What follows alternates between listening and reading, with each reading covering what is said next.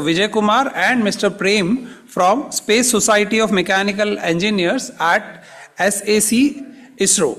They'll be delivering a talk on advancements and challenges in the development of lightweight structures for space applications.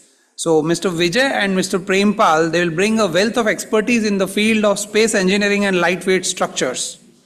I hand over them.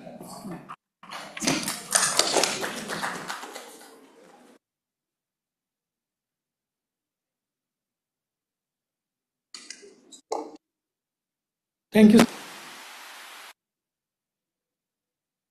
I'd like to thank uh, organizing committee and the university, SICA and uh, SSME for giving me opportunity to share my experience on lightweight structures, especially for space applications. So it is already too late, so I will try to finish uh, within 10 minutes. Uh,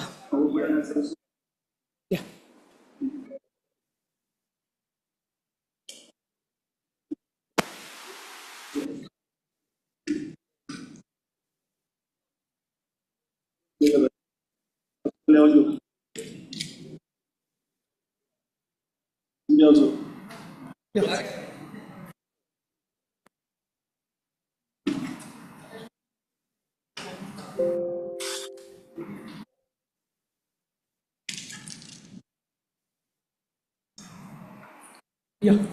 So I will just briefly uh, describe uh, where this composite applications uh, here, uh, is happening. So if you see uh, this presentation uh, uh, from the defense to space and ground segments of launch vehicles, satellites, reusable vehicles, satellite and payloads, vessels, pressure vessels and energy applications, civil applications, sports equipments, marine applications, everywhere these composites are used.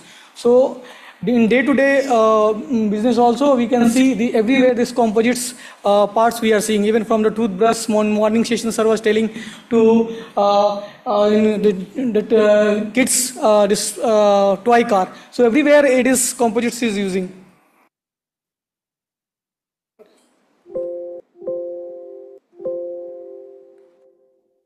Yeah. So basically uh, what composites is so it is a basically combination of two uh, uh, two macroscopically items, fabric as well as resin systems, in which we are uh, taking the uh, best property of, out of both the uh, things.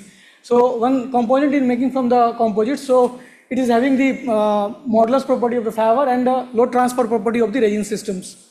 So this is not the composites we are using the first time. So earlier uh, days also we are uh, using the composites. In Egypt times also they are using the composites. They are using in the mummies uh, cases. They used in paper pulp for POPs, reinforced concretes, bricks of clay, uh, reinforced with straw. Uh, all these things is an example of uh, composites. The lightweight structures uh, for space application, especially if you can see uh, the uh, the amount of uh, this investment is required for uh, launching a single kg of uh, payload. So if we are launching for a LEO mission, uh, 1 kg if we are saving the mass, it is $8,000 we are saving it. For if we are uh, launching for a GEO mission, we are saving $27,000 per kg mass we are saving. So if you're going for uh, lunar surface, it is 1.2 million per kg we are saving it. So similarly to Martian surface, 2.7 million per kg we are saving. So 1 kg mass if we are saving, we can save this much amount of money. So after all, all the money is our uh, taxpayer money, government money. So we should actually uh, try to focus how we can optimize our structures. So we have seen uh, uh, uh, peoples who are making uh, who are making and designing the structures having a lot of margins. So we should concentrate on lowering the margins just enough to survive our load cases. So why composites? This slide uh, itself uh, shows that is a tolerable property. It is- having very high specific stiffness, very high specific strength, and low density, high energy absorption capabilities, high suitability, and uh, for space application, the last two points is very, three points are very important. Low coefficient of thermal expansion, dimensional stability in wide temperature excursion, because in space we can see the temperature for uh, plus side it is up to 200 and negative side is minus uh, 250. So with these conditions, it has to survive.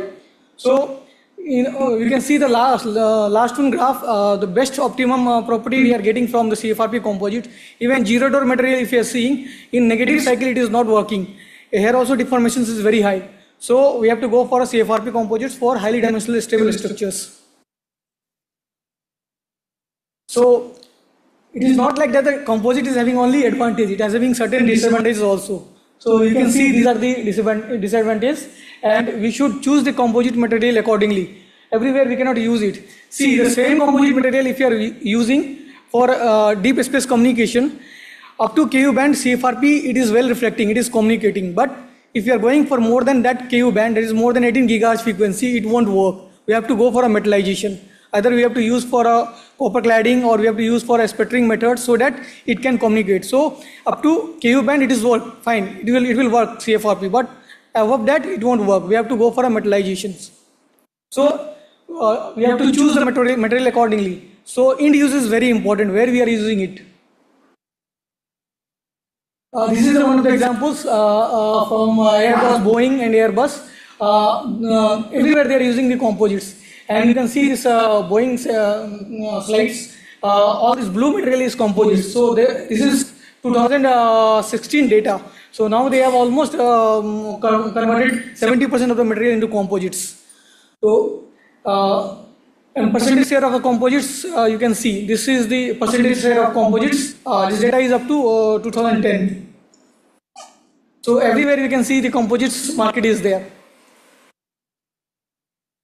Uh, these are the basics uh, process which we are using for fabrication of composites.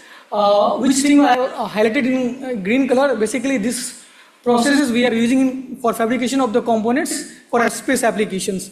Autoclave molding, filament winding, this uh, autoclave melting for structural applications, filament winding uh, we are using it for uh, pressure vessel applications, additive manufacturing slowly we are inducting but that uh, qualification still is going on, it is not fully um, qualified. So these are the methods we are using it. Uh, on coming to the launcher, we have already converted so many components into lightweight composite structures. If you see from the top the payload fairings, isogrid PLA, this uh, pressure vessels, uh, uh, nozzles, then throat liners, interstages, everything that payload fairing, payload adapters, everything we have converted into composites. Now this top side launch vehicle Mark 3 which is our now uh, biggest uh, launch vehicle and uh, its capacity is 4 ton to the payload for GTO orbit. So that payload fairing is made of fully composites that is called ogive composite fairings. In composites also, earlier we are using Kevlar, gas bottles, but now we have converted Kevlar to carbon also. So this, that way also mass saving we have done it.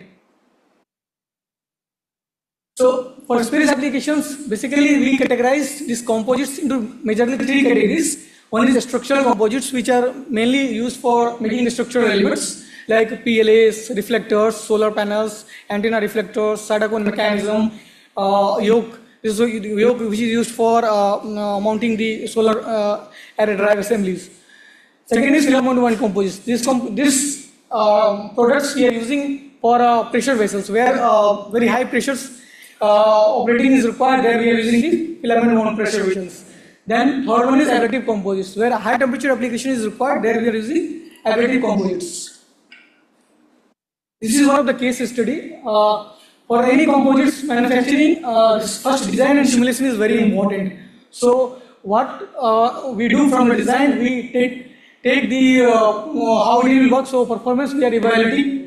What is the time is required for uh, readiness of that product that is time to market, and what is the cost involved involved in that work. So we are all this accessing from the uh, analysis. Then development risk.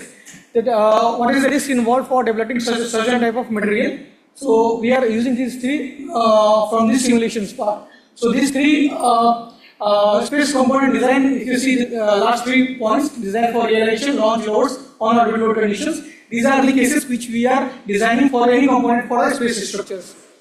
This all things is possible uh, thanks to FEA tool. This is Patran, Nastran, Abaqus, NX, Siemens, ANSYS. These are the tools that we are using it for the simulating. So in the uh, space applications, any product which we are uh, making it is qualification and uh, this process flow is very stringent. So we have to go for all these processes and we have to uh, uh, give the checkpoints every stages so that we should not violate any norms. We should not accept any other uh, material which is uh, which is going uh, going to uh, going to be defect after assembly. So we are respecting in, the, uh, in between this process flow. Com- uh, coming to the um, uh, characterization of the materials for space applications, we have uh, the, uh, I've, I've shown only a few uh, qualifications as for uh, raw, as, uh, raw materials and product per se, but it is the list is very large. So all these tests we are doing it before accepting of any materials. Uh, tensile, compressive, shear, analysis, these are for the prepreg materials. Uh, flexural, shear strength for adhesive material, flat wise tensile test, peel test, uh, pe- flat wise for sandwich materials, peel test we are using for the coated materials. Then environmental test. This is the one of the mm, uh, tests that we have to do uh, for uh, on-orbit conditions like outgassing. Uh, this material should not uh, outgas in the outer space condition, in deep vacuum conditions. So this test we have to performing uh, by total mass loss, TML, CVCM and WVR tests. Then we have, we have to test for CTE. So all these spacecraft structures, uh, these uh, components are very highly stable. So we have to go for a CT measurement. So the CTE measurement should be near to zero. So we are using such type of material which is having the CT is very least. Then CME. CME also is a very uh, stringent uh, test so that uh, any uh, deformation should not happen uh, um, due to the moisture. Then TZ is one of the uh, important tests. From product level, we see this. Uh, these are the tests that we are doing it uh, as a product qualification. NDT at every stages. Thermal baking we are doing it. Thermal vacuum cycling we are doing doing it. Vibrations, sine, randoms. Then quasi-static load conditions. Acoustics we are doing it. Appendage, appendages test we are doing it. And geology test we are doing it. This is as a product level we are doing it. This is the advanced technology fusion uh, actually our other centers are using. This is basically when doubly curved surface are there, complex curved surface are there where we, we cannot use directly manual uh, layup. So what we are doing it, we are cutting it uh, in a prepreg cutting machine and then we are laying up uh, with respect to this laser projection uh, uh, guide, uh, guide machine. So what is the advantage of this uh, technology? This better accuracy we are achieving. It is up to point, 0.1 degree, within 0.1 degree we can align the fibers. Then fast layer process, no misalignment, fully automated process. So this is the major actually advancement in our resource centers. This is uh, this is one of uh, one of the method uh, co-curing technology that also we are using it for uh, uh, making these uh, lower thickness products like reflectors, solar panels. We are using these co-curing techniques. What we what happens in these techniques? Both the top skin and bottom skin of a sandwich structure we are curing simultaneously with the core. In this number of parts is reduced, curing cycle is optimized, process lead time is optimized, and pre-stress we are minimizing it. So this is the uh, one of the process that we are following uh, at our ISRO centers. Coming to the uh, one, one more uh, process that is actually uh, uh, nowhere people are using it. This is the reticulation process. This is basically areal mass density of the film adhesive. We are reducing it. So if you see a panel, solar panel size is almost it gone up to it has gone up to meters, means three to four meters, and width will be around two meters. So that much area, if you use the film adhesive and the core cell size is very large. So what will happen is this most 90% of the adhesive will be unused. That is that is lying between the core. So what you, we are using, we are removing the unused adhesive and only the adhesive which is lying on the core uh, shell area, that only we are retaining it. This is process is called reticulations. So again, one more uh, advancement we are doing it uh, in carbon-carbon area. See, that is the spacecraft recovery experiments we have done in 2007. Actually, this was the one of the major uh, actually goal we have achieved. But that time, that much uh, technology was not there. Uh, that social networking was not there. That's why it was not published too much. It was uh, spacecraft recovery experiments. This uh, this satellite we have already um, say, uh, cup cone flare shape. We have sent to the space and it has done the microgravity experiment for seven days and then it has returned back to our earth. So if you see this um, that um, uh, round portion that one top one that is uh, made from carbon phenolics. Later we have in SR2 missions we have converted it into uh, carbon carbon. So all this uh, landing gears everything we are making in carbon carbon. This, aero- this uh, not ISRO is making, this is from aerospace industries are making. Coming to the future advancement in manufacturing, uh, these are the scope of uh, improvement. Uh, we can go for automation so that we can reduce the tooling costs, improve part performance, lightweighting, damage tolerances, fail-safe design. We can go for in quality assurance. We should be uh, targeting for product repeatability. We should be ensuring process standardization. We should be going for and uh, scalability. This is one of the most important topic.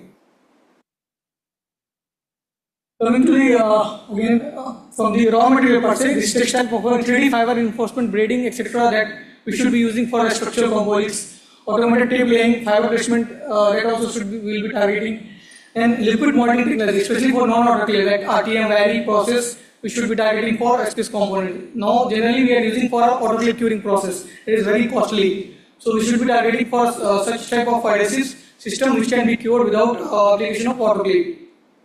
Then uh, new sandwich technology like uh, which can give us the acoustic damping. So if you see the uh, figure like uh, right one that is the structure is 5 to 6 meter uh, diameter and it is uh, free from the acoustic um, damping. So also this uh, this resin system which we, are uh, they are used in this um, particular product it is flexible kind of nature. So it can be foldable and it can be used uh, during the launch condition and then it can be later deployed in on-orbit conditions. Then users of smart self-healing materials. So that also we should, uh, we should concentrate uh, um, on uh, self-healing materials. So any minor damage it uh, happens, it should heal itself. This is basically this uh, lattice type structures. Uh, we call it as isogrid structures. We are using in uh, this. Uh, uh, we just below the cryo stage. We are using this type of lattice structure, and and product also we are using this coil- coil- coilable structures so that efficiently we can save the mass. Now, this uh, new concepts are trending uh, nowadays is doping. So, in composites, uh, we should be targeting for doping also. See, see CNT is having the uh, property which we are looking for, but alone CNT we cannot use it. So, we have to use it in, uh, within our uh, carbon fiber. So, this doping, uh, we, uh, if you are introducing, we are getting the property which we, we will be requiring for these applications. Then joining techniques. This uh, that this also uh, I was uh, telling earlier also. Uh, now whatever the film adhesives nowadays in market it is available. It is high. It is curable in a high temperature conditions, temperature conditions. That is not autoclave. It is costly affair. So we are targeting to develop such a type of film adhesive which can be cured at a lower temperature. Then new research uh, uh, we should be focusing on damage tolerances and repair. Uh, and last, whatever this composites we are using it, we should be able to recycle it. So this, these are the challenges during the uh, recycling we are facing it. Long versus short fibers, glass fiber versus carbon fiber, high cost is involving. So these are the recycling process. People are using it. Chemical, dehalogenations, pyrolysis, mechanical shredding, grinding, extrusion, whitewashing, and thermal incineration. That this is a process basically worldwide where people are using. And one uh, tech in USA is there. Actually, uh, they are having a, a agreement between Boeing and uh, Airbus for recycling of aircraft components. So what they are using it, they are using a their property catalyst, heat and pressure uh, with composites. So byproduct it is coming as a adhesive and adhesives and fiber. That adhesive they are using for a wooden industries for uh, joining of the wooden products and fibers they are recycling it. So this this is a pilot scale reactor actually. Uh, full scale they are uh, going on. Development is going on, and this is the incineration process which uh, widely used uh, in our ISRO centers for decomposing of of the uh, com- composites. These are the few references. Thank you.